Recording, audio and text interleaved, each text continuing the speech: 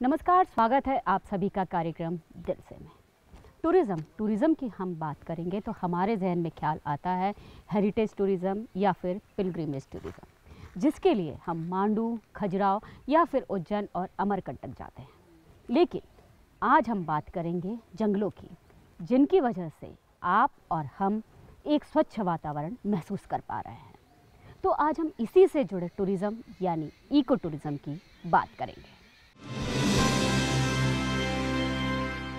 कौन सा सबसे पॉपुलर इको टूरिज़्म डेस्टिनेशन होगा? सफ़र वाला जो टूरिज़्म है ये बहुत पॉपुलर हो रहा है। और केरला की बात करें तो वो एक इको टूरिज़्म डेस्टिनेशन भी कहलाता है। तो हमारा जो ये मध्य प्रदेश है वो क्यों नहीं कहला रहा है? एक्चुअली ये सारा मार्केटिंग का खेल है। तो सबसे सेटिस्फाइंग टेन्योर रहा वो कौन सा? Field director Satpura tiger reserve की जो पदस्थापना थी। आज हमारे साथ 1987 बैच के आईएफएस ऑफिसर श्री सुरेंद्र सिंह राजपूत जी है जिन्होंने महत्वपूर्ण विभागों में अपनी अहम भूमिका निभाने के बाद आज वर्तमान में Madhya Pradesh eco tourism development board के मुख्य कार्यपालन अधिकारी के पद पर अपनी सेवाएँ दे रहे हैं। नमस्कार राजपूत जी आपका हमारे इस कार्यक्रम में बहुत बहुत स्वागत है। जी नमस्कार। आप इको टूरिज़्म बोर्ड के मुख्य कार्यपालन अधिकारी हैं तो टूरिज़्म की बात हम करते हैं तो टूरिज़्म और इको टूरिज़्म इसमें क्या फ़र्क है? बेसिकली हैं तो दोनों ही टूरिज़्म के भाग ही, लेकिन जो चूँकि इसमें इको शब्द जुड़ा हुआ है तो टूरिज़्म और इको टूरिज़्म में कुछ मूलभूत बेसिक सिद्धांत अंतर हैं। पहला जो सिद्धांत है इको टूरिज़्म का कि it's a high value, low volume यानी जो भी प्लेसेस पे हम टूरिज़्म करते हैं, हमें भीड़ नहीं चाहिए, क्वालिटी के ऐसे लोग जो नेचर को अप्रिशिएट कर सकते हैं, और ऐसे हाई वैल्यू और लो इम्पैक्ट टूरिज़्म जो है, वो इको टूरिज़्म की बेसिकली मूल भावना है। दूसरा अंतर जो है टूरिज़्म में होता यह है कि अक्सर जो टूरिस्ट लॉजेस हैं रिसोर्ट्स हैं, वहाँ पे लोकल लोगों को कम्युनिटी को बेनिफिट्स उस अनुपात में नहीं होता है। और इको टूरिज़्म का मूल प्रिंसिपल ये है कि जितना भी हम इको टूरिज़्म से अगर आय हो रही है, उसका एक प्रमुख भाग, वो लोकल कम्युनिटी को लोकल लोगों को जाना चाहिए। और जो तीसरा मुख्य अंतर है कि बेसिकली नेचर का कंजर्वेशन कि लोग ऐसे प्लेसेस पे आएँ, इसकी शांत और इसकी सुंदर जो वातावरण है, उसका आनंद लें और उससे प्रेरित होकर वो पर्यावरण के संरक्षण में अपना सहयोग दें। तो इन तीन मायनों में इको टूरिज़्म और टूरिज़्म ऐसे डिफरेंट है। जब आप किसी इको टूरिज़्म डेस्टिनेशन को डेवलप करते हैं तो किन किन कंपोनेंट्स को ध्यान में रखते हैं? पहली चीज़ तो यही है कि वहाँ पे कुछ नेचुरल ब्यूटी इस तरह की हो कि जिसको या देखने लोग आ सकें। नंबर दो हम उन प्लेसेस को विकसित करने में ये चाहेंगे कि वहाँ कंक्रीट का जो मिनिमम यूज़ हो वो होना चाहिए। और जो भी बेसिक है जो टूरिस्ट को रुकने के लिए चाहिए कि एक किचन है टॉयलेट्स है उसके अलावा कोई वृहद कंस्ट्रक्शन वहाँ पे नहीं होना चाहिए। तो बेसिकली मर्जिंग विथ नेचर और लो इम्पैक्ट कंस्ट्रक्शन वहाँ पे होना चाहिए। लोग प्रकृति को एंजॉय करें और प्रकृति के जितना नज़दीक रह सकें उसी प्रकार की संरचनाएँ हम लोग लेते हैं। सर हम नॉर्मल टूरिज़्म जो स्पॉट्स होते हैं वहाँ देखते हैं कि टूरिस्ट को मल्टीनेशनल कंपनीज़ के कोल्ड ड्रिंक्स मुहैया कराते हैं। वहीं अगर आपके इको टूरिज़्म स्पॉट की बात करें तो क्या आप वहाँ पे नेचुरल ड्रिंक्स और इको फूड्स प्रोवाइड करते हैं, ऐसी संभावना रहती है। जहाँ तक संभव है, क्योंकि पूरे समय तो संभव नहीं हो पाता, लेकिन जहाँ तक संभव है, ये करना चाहिए कि हम एथनिक फ़ूड खिलाएँ और जो लोकल हमारी डेलिकेसीज़ हैं ड्रिंक्स के रूप में, चाहे आम का पना हो, चाहे किसी आंवले का जूस हो या इस तरह की चीज़ें हैं तो जो उपलब्धता के आधार पे ग्रामीण परिवेश में स्टोर की जा सकती हैं उसका प्रयोग करना चाहिए इको टूरिज़्म में और जहाँ भी संभव होता है वहाँ हम लोग करते भी हैं। कई जगह संभव नहीं भी हो पाता है। इससे दो फ़ायदे होते हैं। एक तो लोग इन चीज़ों से कभी बहुत ज़्यादा अब जुड़े नहीं रह गए हैं। दूसरा, अगर इन चीज़ों को हम प्रमोट करेंगे तो ये अगेन किसी न किसी लोकल यूथ को एम्प्लॉयमेंट की भी एक अपॉर्चुनिटी देगा कि उनके फ़ूड और उनके अगर चीज़ें हम खिलाते हैं तो उनको एम्प्लॉयमेंट की एक अपॉर्चुनिटी मतलब जहाँ तक हो सके आप लोग इसकी कोशिश करते हैं। प्रयास करते हैं जी। उसी के अलावा हम अगर लोकल आर्ट की बात क्योंकि कोई भी टूरिस्ट आता है आपके उस डेस्टिनेशन पे तो क्या उनका कुछ लोकल आर्ट भी आप एक्सपोज करते हैं कि जो उन्होंने कोई बाँस का कोई आइटम बनाया हो या पत्तों से रिलेटेड कुछ हो तो उसका भी कुछ उनको रोज़गार मिल जाए? हाँ, अगर उस इको टूरिज़्म डेस्टिनेशन में कुछ हैंडीक्राफ्ट और ये सारी चीज़ें बनती हैं तो उनको हम अपने डेस्टिनेशन में डिस्प्ले भी करते हैं ताकि लोग उसको चाहें तो क्रय कर सकें तो लोगों को भी एम्प्लॉयमेंट मिले और ये ऐसी हैंडीक्राफ्ट लोगों के घरों तक भी पहुँच सकें। उसके अलावा हम लोगों ने कुछ जगह ये भी एक्सपेरिमेंट किया है कि हम प्रोसेस भी दिखाते हैं, जैसे रस्सी बनती है। लोग समझते हैं कि ऐसी रस्सी बनती है, लेकिन अगर कोई आर्टिशियन है, बड़ा जब ग्रुप आता है तो एक रस्सी बनाने वालों को बैठा देते हैं। तो लोग कैस प्रक्रिया जिससे रस्सी बनती है और कैसे बना रहे हैं, उससे जुड़ के उन लोगों को भी अच्छा लगता है तो उस तरह की प्रक्रियाएँ भी करते हैं। इसके अलावा हम देखते हैं कि जो लोकल कल्चर होते हैं लोकल कम्युनिटीज़ होते हैं उनके टूरिस्ट लोग जो होते हैं उनके रिक्रिएशन के लिए क्या आप लोकल डांस या ट्राइबल डांस इस तरीके का भी कुछ वहाँ की कम्युनिटीज़ को कहते हैं कि वो इस तरीके का कुछ एक्टिविटीज़ वहाँ करें? बिल्कुल जहाँ पे जैसे देलावाड़ी में हमारे लोकल ट्राइबल डांस है तो अगर उनकी डिमांड होती है तो उसके आधार पे ट्राइबल डांस है कुछ भजन मंडलीज हमारी होती हैं। तो जहाँ कहीं भी ऐसी मंडली और ऐसे हमारे फोक आर्टिस्ट उपलब्ध हैं और डिमांड होती है तो हम वो भी इको टूरिज़्म डेस्टिनेशन पे कराने का प्रयास करते हैं। लेकिन जब कहीं एक्टिविटीज़ होती है तो हम देखते हैं हम अगर भोपाल की बात करें तो कठोतिया की टीम सबसे ज़्यादा आती है कुछ एक्टिविटीज़ को कराने।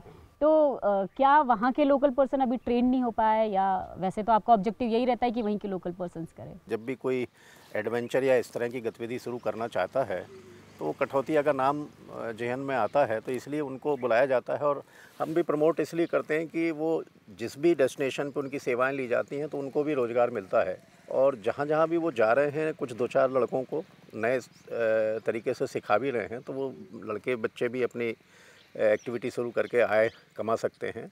अब कम से कम हमारा दस बारह जगह ऐसी हो गई हैं, जहाँ कम्युनिटी बेस्ड टूरिज़्म जो है वो काफ़ी हद तक चल रहा है और सबसिस्टेंस इनकम जो है उन लोगों को आने लगी अगर हम बात करें मध्य प्रदेश की तो यहाँ पर कौन सा सबसे पॉपुलर इको टूरिज़्म डेस्टिनेशन होगा आपका जहाँ सबसे ज़्यादा टूरिस्ट आते हैं? एक्चुअली टूरिस्ट संख्या के हिसाब से हम देखें तो हमारे जो बफर एरिया टूरिस्ट है जैसे सतपुड़ा का बफर है जो हमारा तो उनमें करीबन हमारे सत्तर अस्सी हज़ार टूरिस्ट प्रतिवर्ष आने लगे हैं। पेंच बफर में हमारे टूरिस्ट बड़ी संख्या में आने लगे हैं तो बफर वाला जो टूरिज़्म है, ये बहुत पॉपुलर हो रहा है। उसके अलावा कठौतिया समर्धा जो हमारी जगह हैं, यहाँ भी अमूमन सीज़न में 40-50 हज़ार लोग आ जाते हैं।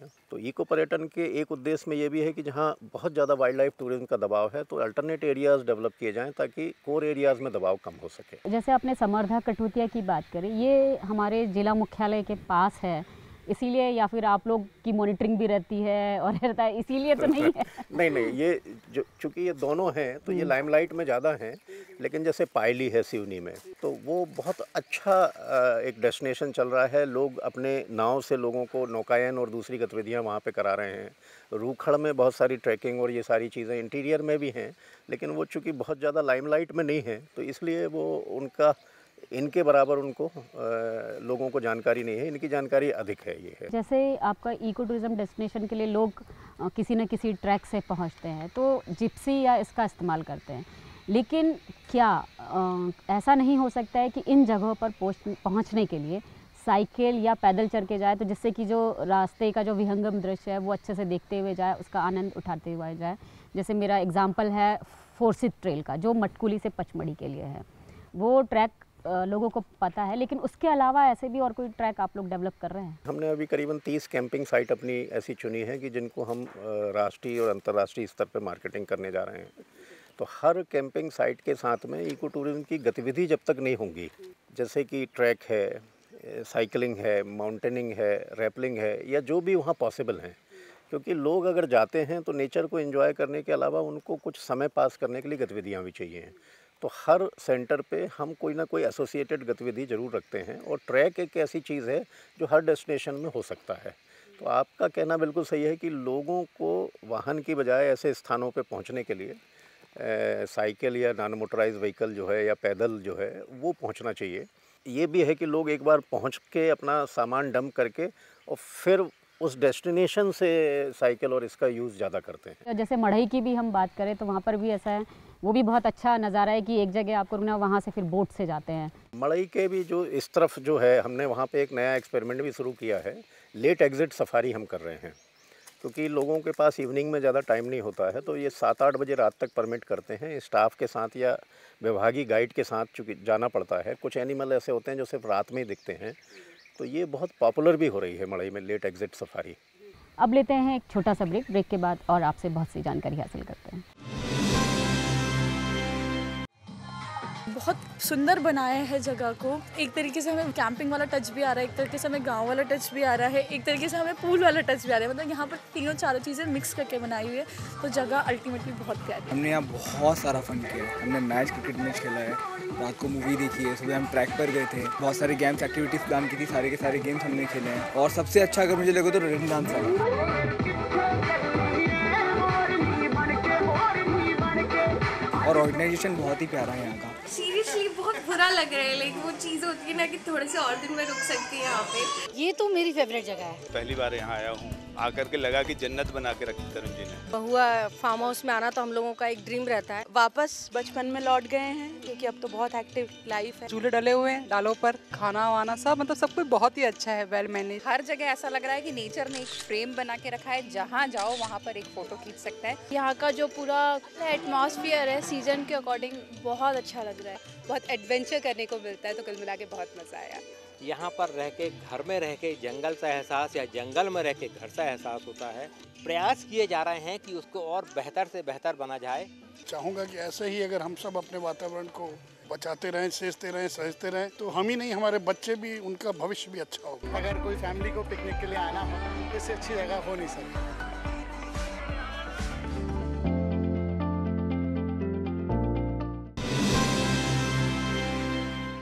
ब्रेक के बाद सर आपका फिर से स्वागत है। अभी जैसे हम बात करें इको टूरिज़्म डेस्टिनेशन पर पहुँचने के लिए हमने कहा है कि साइकिल या ट्रैक का आप आगे और भी ऐसे साइट्स डेवलप करेंगे।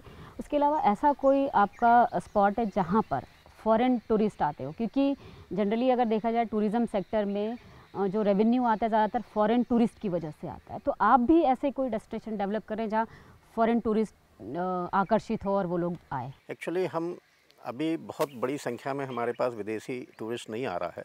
पॉपुलर टाइगर रिज़र्व हैं, जैसे कान्हा है, पेंच है या बांधवगढ़ है। यहाँ ऑलरेडी बहुत बड़ी संख्या में विदेशी पर्यटक आते हैं। तो हमारा अभी जो टारगेट है कि इन तीनों चारों जगहों पे हम बफर में जो एक्टिविटीज़ डेवलप करें तो उसमें विदेशी आएँ और उसमें शुरुआत भी हो गई है हमारे आने की। इसके अलावा हमने कुछ ऐसी टूर ऑपरेटर से संपर्क किया है जो हम चाहते हैं कि हमारे डेस्टिनेशन को पॉपुलर करें। एक दो लोगों को हमने अपने डेस्टिनेशंस दिखाए भी हैं। वो मोस्टली उत्तराखंड या केरल में ऑपरेट कर रहे हैं लेकिन उनका कहना है कि मध्य प्रदेश में जो डाइवर्सिटी है वो उन दोनों राज्यों में भी नहीं है। तो आ, हमारे यहाँ पोटेंशियल बहुत है। हम टूरिज़्म डिपार्टमेंट के साथ मिलकर इसकी एग्रेसिव मार्केटिंग जो है ताकि विदेशी पर्यटक जो हैं वो भी हमारे इको टूरिज़्म डेस्टिनेशन पर अट्रैक्ट हों। उस दिशा में रणनीति बना के काम कर रहे हैं। तो ऐसे ही हम आपके पीपीपी मोड की बात करें तो पीपीपी मोड बहुत पहले शुरू भी हुआ था और उसके तहत आप लोग का एक एजेंडा था कि कोई ना कोई इको पार्क है वो डेवलप किया जाए। तो ऐसे कौन से पीपीपी मोड पर अभी शुरू हुआ? हमारे कुल तीन प्रोजेक्ट एक्चुअली पीपीपी मोड पे चले थे लेकिन उसमें कुछ अड़चने हमारे पास में हैं। हम ज़्यादातर वन भूमि पे इको टूरिज़्म प्रमोट कर रहे हैं। और पीपीपी में हमें ज़मीन लीज़ पे देनी पड़ती है प्राइवेट पार्टी को या किसी को तो जो वन कानून है, वो इसकी इजाज़त नहीं देते हैं। तो पीपीपी हम सिर्फ़ वहीं कर सकते हैं जहाँ पे हमारे पास राजस्व भूमि उपलब्ध हो। तो इसलिए पीपीपी पे हमें बहुत सफलता अभी नहीं मिली है, लेकिन जैसे केरवा जिप है तो ये सफलतापूर्वक चल रहा है। और अर्निया में हमारा है वो भी हमें एनुअल प्रीमियम उसमें प्राप्त हो रहा है वो भी सफलतापूर्वक चल रहा है। और एक और मुझे याद आ रहा है दैलावाड़ी जो आपने एमपी टूरिज़्म के साथ शुरू किया था वो शुरू हुआ अच्छा भी चला लेकिन वो बंद हो गया क्या वजह रही? उसमें कुछ वैधानिक दिक्कतें थीं जिसके कारण उसको बंद होना पड़ा। और सर जैसे 2015 की हम बात करें तो एक नोटिफिकेशन जारी हुआ था कुछ रिस्ट्रिक्शंस लगाए गए थे टूरिस्ट लोगों को बफर जोन में जाने के लिए।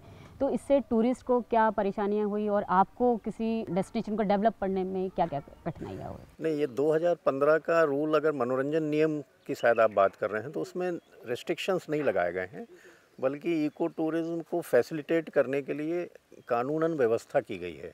तो उसके बाद से अब हमें वन क्षेत्रों में लो इम्पैक्ट और जो जिसमें बिना वृक्ष काटे या बिना भूमि तोड़े काम करना है तो उसमें सहूलियत मिली है।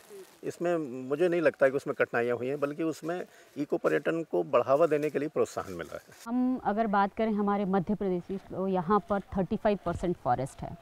और केरला की बात करें तो वो एक इको टूरिज़्म डेस्टिनेशन और स्टेट भी कहलाता है।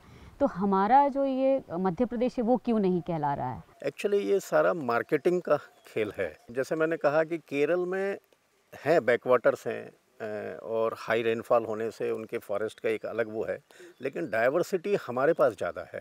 केरल का मार्केटिंग का, टूरिज़्म का मार्केटिंग पे ही वो काफ़ी ज़्यादा पैसा खर्च करते हैं। वही एग्रेसिव रणनीति और मार्केटिंग हमारे यहाँ भी करने की आवश्यकता है और देर सवेर हम लोग भी केरल से टक्कर लेंगे। आप तो जंगलों से बिल्कुल इतने जुड़े हुए हैं। हर एक एक चीज़ आपको मालूम है। बर्ड की एक्टिविटीज़, एनिमल की एक्टिविटीज़। तो बर्ड्स की ऐसी कोई एक्टिविटी बताए जो बिल्कुल ही अलग है, उसको देख के बिल्कुल मन रोमांचित हो जाता होगा या कुछ इस तरीके का आप बताइए? अभी मैंने थोड़ी देर पहले यहाँ पे एक समूह देखा जिसको हिंदी में सत भैया कहते हैं, अंग्रेज़ी में सेवन सिस्टर्स हैं, जंगल बेबलर्स उनको कहा जाता है। ये सात आठ के झुंड में रहती हैं, बहुत ज़्यादा शोर करती हैं ब्राउन कलर की बर्ड्स होती हैं। ये लोअर ग्राउंड पर रहती हैं या मिडिल स्टोरी पर रहती हैं। इनके ऊपर एक रैकेट टेल्ड रेंगो होता है। उसमें एक वायर जैसी पूंछ में दो लंबी वो होती हैं और आखिर में एक जैसे बैडमिंटन का रैकेट होता है, ऐसे गोल वो बना हुआ रहता है। तो वो बर्ड उनके ऊपर बैठी रहती है। वो बर्ड पंद्रह बीस तरह की आवाज़ें निकाल सकती है, मिमिक्री कर लेती है। वो ऑब्ज़र्व करती है कि ये जंगल बेबलर को कहीं कीड़ा अगर मिला तो जैसे ही वो देखती कि इसको कीड़ा मिला है तो वो स्क्रीच करके उसकी तरफ़ दौड़ती है तो वो बेबलर वो कीड़ा छोड़ के भाग जाता है। तो वो कीड़ा फिर वो रैकेट, ट्रेल, रेंगो खाता है। तो ये एक तरीके का क्या कहना चाहिए, खाना चोरी का एक उदाहरण है।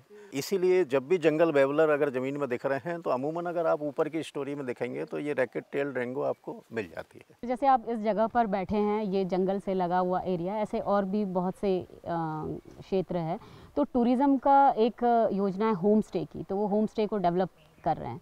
तो उसी तरीके से क्या इको टूरिज़्म बोर्ड भी ऐसे इको स्टे इस तरीके से कुछ डेवलप करने का आपने भी सोचा है? हमने दो तीन जगह इसके एक्सपेरिमेंट अभी किए हैं, और हमने कर्माझिरी में किया है, पैंच में, और काफ़ी अच्छा वो चल रहा है। इसके अलावा कान्हा में भी होम स्टे कुछ गाइड थे, जिनको गाइड करके हमने अपने नहीं खोले हैं, लेकिन उनको हमने गाइड किया, फिर उनको एक जिप्सी का परमिट दिलाया था, जिसने वो होम स्टे खोला था। अभी पता लगा कि उसने चार कमरों का पहले अपना एक होम स्टे बनाया था, अब एक चार कमरे का और बना रहा है।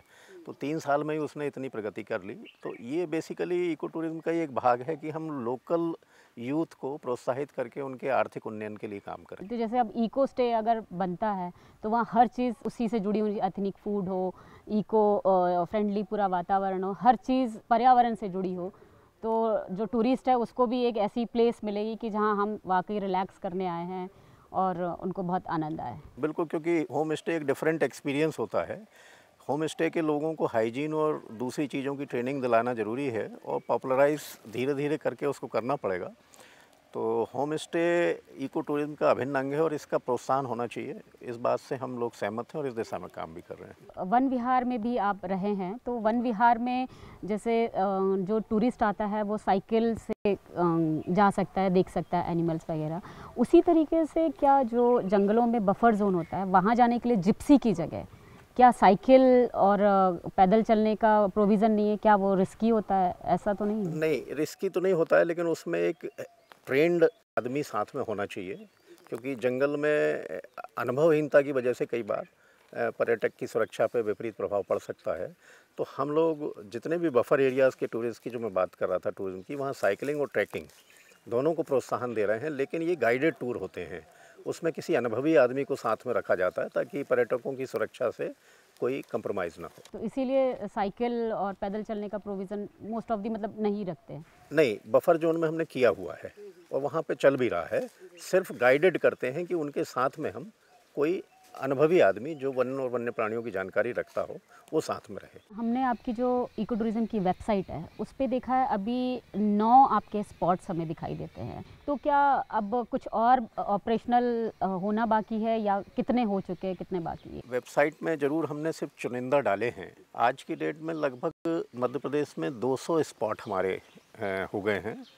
और ये नौ स्पॉट ऐसे हैं, ये वेबसाइट में इसलिए डले हैं कि यहाँ पे हम लोगों ने ऑनलाइन बुकिंग प्रारंभ कर दी है। शेष जगह जो है ऑफलाइन बुकिंग है। तो जहाँ जहाँ ऑनलाइन बुकिंग होते जा रही है, उसको हम वेबसाइट पे भी प्रदर्शित करते जाएँगे। लेकिन ये हालाँकि वेबसाइट में हमारी कमी है कि हमारे नौ के अलावा जो अन्य स्पॉट हैं, उसकी भी जानकारी हम जो है शीघ्र ही अपनी वेबसाइट पर, जिसमें भले ही ऑफलाइन रिजर्वेशन हो रहा हो लेकिन उसकी जानकारी भी वेबसाइट पर वो ये त्रुटि है कि हमने सिर्फ़ ऑनलाइन डाले हैं लेकिन ऑफलाइन वाले भी होने चाहिए और जल्द ही हम उसको अपडेट करेंगे। आप फॉरेस्ट डिपार्टमेंट में तो रहे ही है उसके अलावा आप ग्रामीण विकास में रहे हैं अर्बन डेवलपमेंट में रहे हैं और फिर नर्मदा वैली डेवलपमेंट में भी रहे हैं। तो आपके इस पूरे टेन्योर में आपको सबसे सेटिस्फाइंग जो आपका टेन्योर रहा वो कौन सा रहा? है मैं अगर कहूँ मुझे जो दिल के करीब लगा वो मेरा field director Satpura tiger reserve की जो पदस्थापना थी और पहले जब मैंने ज्वाइन किया था तो सतपुड़ा टाइगर रिज़र्व को मध्य प्रदेश के प्रमुख टाइगर रिज़र्व में गिनती नहीं होती थी। अ, लेकिन आज सतपुड़ा टाइगर रिज़र्व भी उतना ही महत्वपूर्ण है जितना कि काना पेंच बांधवगढ़ है। तो वहाँ जो मैंने काम किया या वहाँ जो सीखा वो मेरे लिए सबसे सेटिस्फाइंग एक्सपीरियंस है मेरी सर्विस लाइफ का। धन्यवाद राजपूत जी आज आपने समय निकाला और आप हमारे इस कार्यक्रम में आए और अपनी बहुत सी बातें दिल से कही। थैंक यू आज हमने MP eco tourism development board के मुख्य कार्यपालन अधिकारी श्री राजपूत जी से इको टूरिज़्म के बारे में बहुत सारी जानकारी हासिल की। आशा करते हैं कि अब आप भी छुट्टियों में किसी न किसी इको टूरिज़्म डेस्टिनेशन पर जाने का रुख ज़रूर करेंगे और पॉल्यूशन फ्री वातावरण में छुट्टियाँ ज़रूर बिताएँगे। तो आज के कार्यक्रम में बस इतना ही। अगले हफ़्ते हम फिर हाजिर होंगे। तब तक मुझे और मेरी पूरी टीम को दीजिए इजाज़त। नमस्कार।